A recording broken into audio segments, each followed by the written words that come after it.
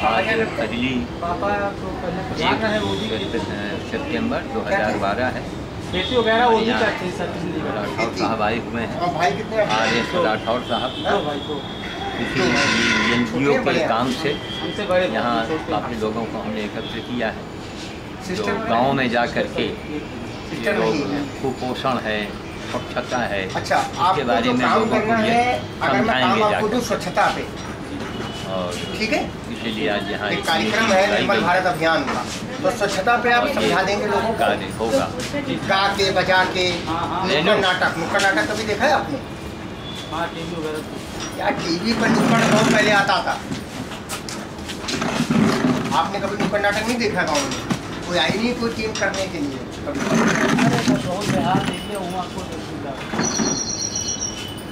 यहाँ भी कम होते हैं हम लोग कभी आपने नुक्कड़ नाटक नहीं देखा? अच्छा खैर नहीं तो आप अपने गाँव में जो गाँव आपको मैं दूँगा वहाँ के कार्यक्रम तैयार करके चार लोगों की टीम मैं बनाऊँगा।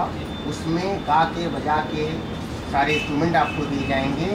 लोगों को ये चीज़ें समझा देंगे राष्ट्रीय कार्यक्रम जो है बता देंगे। कैसे बताएँगे। अरे सर जैसे गए चार लोग। चार लोग गए। इकट्ठा किया। उसको इकट्ठा किया। कैसे इकट्ठा करेंगे? अरे खुदा करके राइट खुदा करके इकट्ठा गाय गाय समझाया करेंगे। और अगर अभी से बाहर मैं सी एस एम नगर भेजूँ यहाँ का काम खत्म होने के बाद तो वहाँ जाएँगे? जी। परमानेंट काम करेंगे कि शॉर्ट टाइम काम करेंगे? परमानेंट करेंगे। और जब खेती की बोनी होगी और जब बुआई वगैरह होगी तब क्या करेंगे? कटाई होगी तब क्या करेंगे? करेंगे। अब नरेगा में तो कोई मिलता नहीं नरेगा की वजह से। नहीं पिताजी मजदूर कहाँ से आएँगे? अरे मजदूर हम लोग पिताजी वगैरह है करेंगे घर में और लोग